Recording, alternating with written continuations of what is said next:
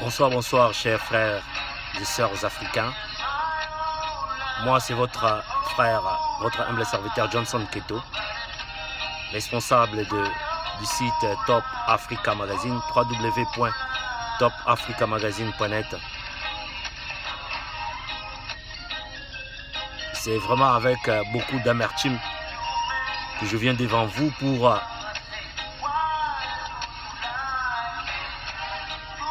être ensemble avec ceux qui y ont levé leur voix sur ce qui se passe en Libye. Là, je félicite mon confrère Claudicia de la RFI d'avoir levé les tons. Et en voilà le résultat. Oui, ce qui se passe en Libye en ce siècle, c'est malheureux. Toute l'Afrique doit s'élever. Le peuple africain doit s'élever pour dire non à l'esclavage. Non à la vente des noirs. C'est pitié. Où êtes-vous les dirigeants africains? Où êtes-vous les responsables africains? Vous laissez les peuples mourir. Vous laissez les peuples subir cette humiliation. Pendant que vous remplissez vos poches avec des milliards. Pendant que vos noms sont cités dans les Panama Papers. C'est vraiment malheureux. Nous, Africains, nous disons non à la vente de nos frères africains. Déjà demain, à 10h, ici au Royaume-Uni, le peuple africain sera debout, debout pour manifester devant l'ambassade libyenne à Londres demain lundi. J'invite tout le monde d'y participer. Mais comme on dit, comme on dit, la charité bien ordonnée commence soi-même. Je suis originaire du Congo, de la RD Congo. Ce qui se passe en Libye, comparativement à ce qui se passe au, au Congo, c'est la même chose. On viole à Beni, on viole à Goma. Mais nous restons silencieux. Nous restons silence radio. Pourquoi tout ça? J'invite aussi les peuples africains d'initier des manifestations contre les sociétés qui pillent les ressources congolaises. On nous a dit en géographie que le Congo était un scandale géologique. En grandissant, nous ne voyons pas ces richesses. Nous ne palpons pas ces richesses. Il n'y a que des sociétés des multinationales qui, qui, qui, qui pillent les richesses congolaises avec la complicité de l'homme politique congolais. L'homme politique congolais, je vous interpelle, l'homme politique congolais. Vous participez d'une manière ou d'une autre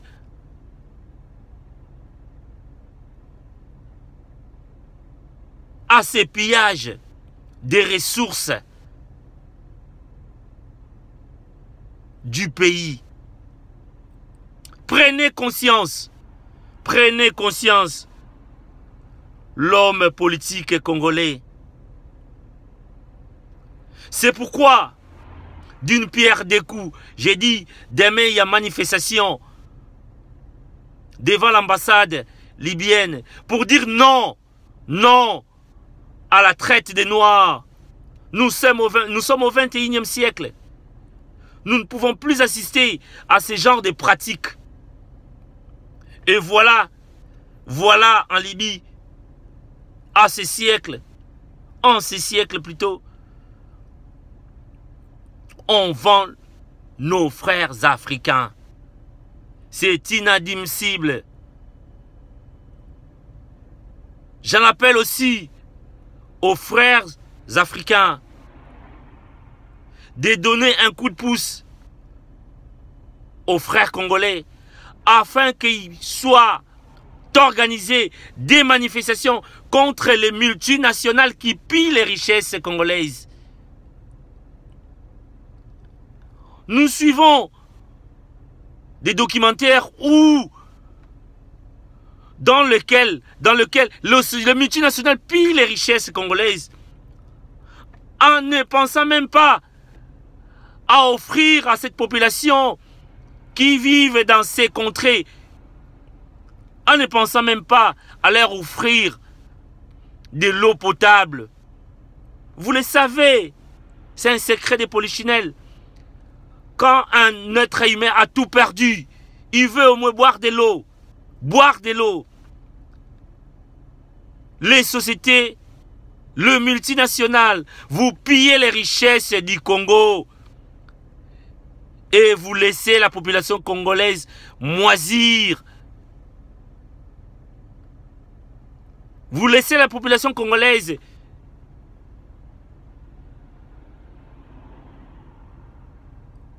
sans infrastructure.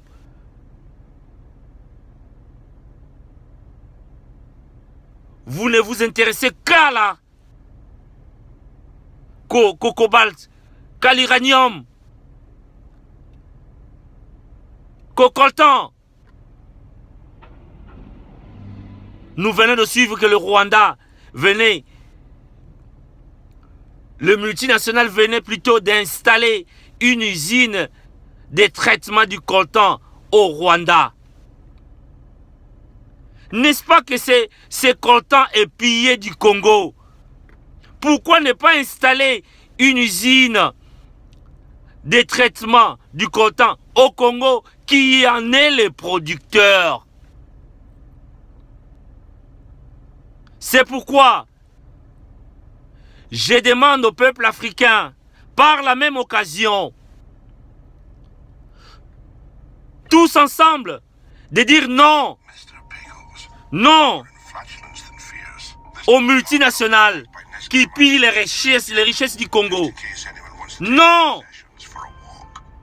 aux dirigeants africains qui sont complices de ces multinationales d'organiser des manifestations contre les multinationales.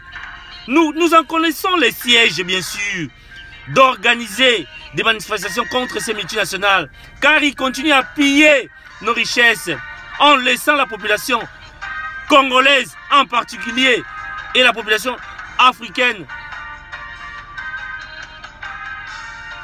affameux. Dire non aux sociétés comme les hypo. Dire non aux sociétés qui, aux multinationales qui pillent nos pays. N'est-ce pas que ce sont ces sociétés qui, qui,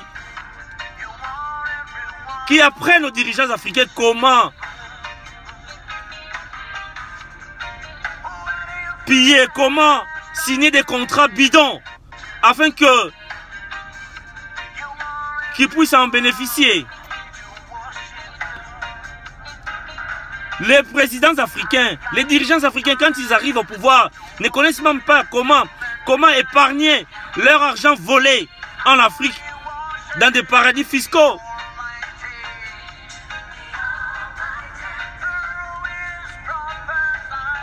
Mais à travers les sociétés, le multinational,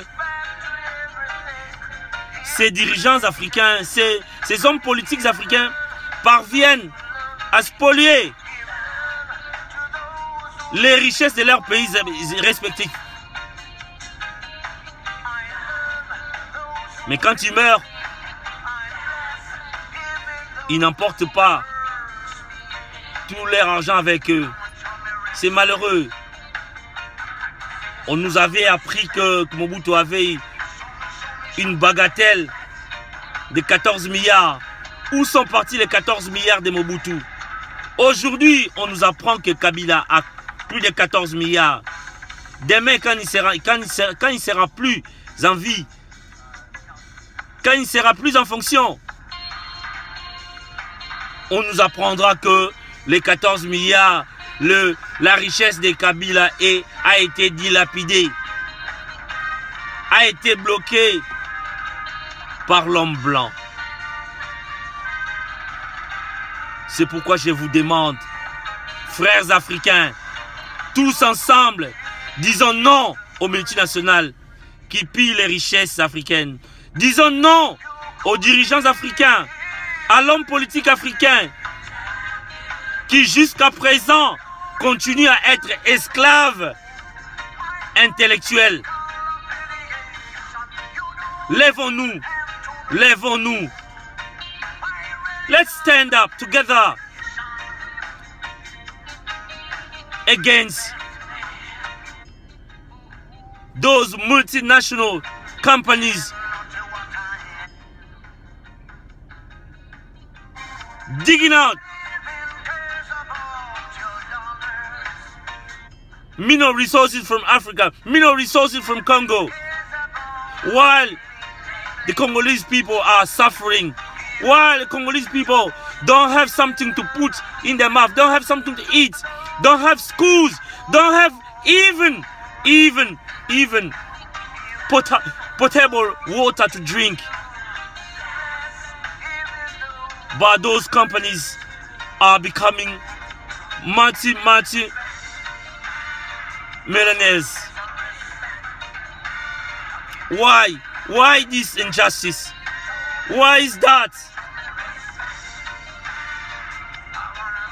Which kind of world we are living in?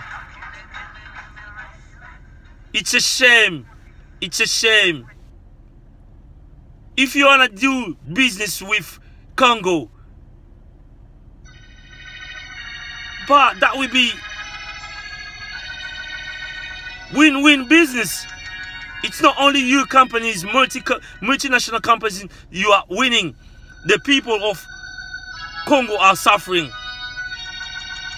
They're lacking something to eat. They're lacking schools. They're lacking infrastructure. They're lacking, they're lacking so many things. It's a shame. We are living on 21st century. You have techniques. Congo got mineral resources. We have to make a better deal. But you're going through, through a corrupt Congolese politician. You are going through, you are dealing with corrupt politicians.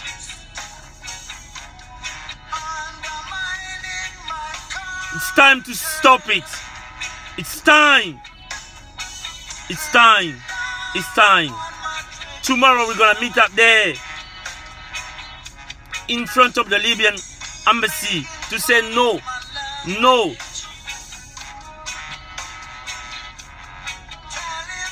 No to the, the, the sale of slaves. We are there tomorrow. Monday, RB Day. But at the same time, we have to say no also to those companies, big company, multinational companies, spoiling Congolese mineral resources.